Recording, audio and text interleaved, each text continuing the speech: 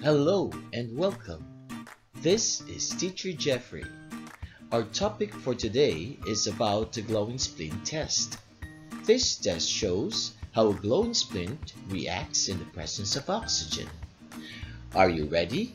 Come and dive in. These are the materials we need. Boiling tube, splint, matchstick or lighter, and a spatula. We also need chemicals like manganese oxide and hydrogen peroxide in preparing oxygen gas. When these substances react, it will produce oxygen. Here is the procedure. Light up a splint and put off the light. Insert the glowing splint into the boiling tube with mixture. Then observe. This is the experiment proper. Let us watch and learn.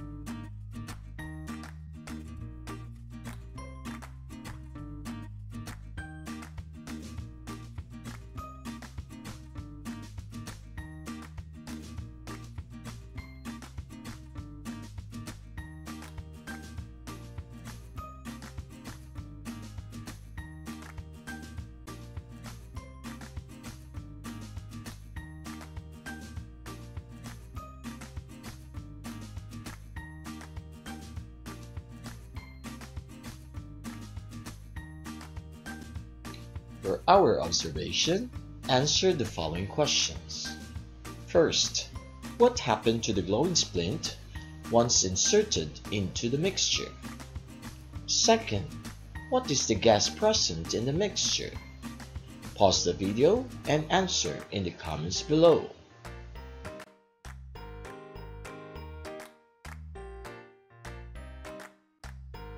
For our conclusion, answer this question. What happened to the glowing splint when inserted to the boiling tube containing oxygen?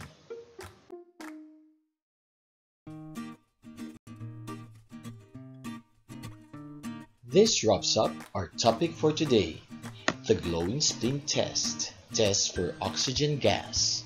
If this video helps you understand better about glowing splint tests, please share this to your friends. If you are new to this channel, click subscribe and like. Hit that notification bell for more upcoming videos.